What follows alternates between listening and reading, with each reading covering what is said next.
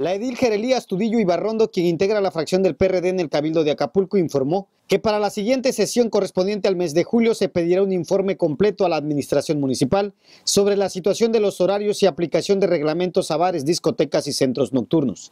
Esto luego de lo ocurrido en el Mister Bar, donde el pasado domingo fueran asesinadas cinco personas y seis más resultaran heridas, y cuyo establecimiento tenía tres requerimientos administrativos por violar el horario de funcionamiento. Que nos den eh, claras al cuerpo edilicio para nosotros poder eh, informar.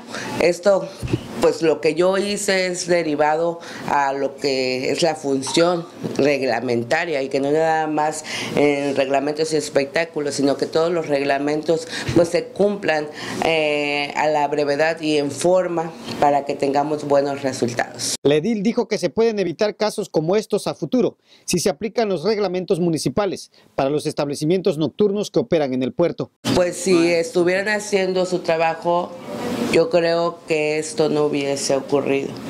Yo no pido ni culpo a una sola persona, a una sola institución. Solo pido que se haga el trabajo, que mandaten hacer el trabajo a todos los inspectores, que vean de manera personal, que vean en las altas horas pues qué establecimiento está ah, abierto, que esté en funcionamiento y pues que se vean y tomen las medidas cautelares que se necesitan. Enrique Guzmán, Noticieros Televisa.